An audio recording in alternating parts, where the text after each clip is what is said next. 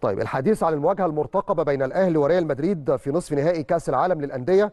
يمكن الحديث لم يتوقف فقط في الصحف المحلية ولكن الصحف الأوروبية والصحف الأسبانية كان لها حديث مهم جدا وعناوين رنانة.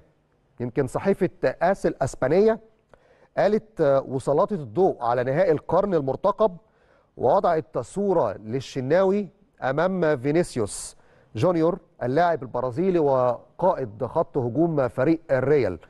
وقالوا في المنشط الرئيسي على الصورة ملوك العالم ريال مدريد والأهلي هما الأفضل على الإطلاق في أوروبا وإفريقيا عندما تتحدث أكبر الصحف الأسبانية عن مكانة وشعبية وإمكانيات الأهلي والصورة المضيئة للنادي الأهلي اللي بيمثلها عن الكرة المصرية أو حتى عن الكرة الإفريقية في المحافل الدولية.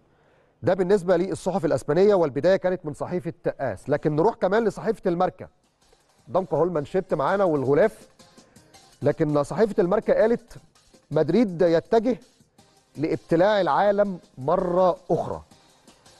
وطبعا زي ما أنتم شايفين الشعار بتاع الريال طبعا ريال مدريد هو النادي الملكي والتاج الملكي يمكن ده شعار نادي الريال لكن طبعا هي الماركة بتتكلم على قدرات الريال في كأس العالم وإن الريال من المنتخب على فكرة من الفرق الأوروبية اللي لما بيدخل أي منافسات عالمية ما بيدخلش أو ما بيدخلش ب... ب... بهزار أو ممكن يتهاون في نتيجة مباراة أو بطولة.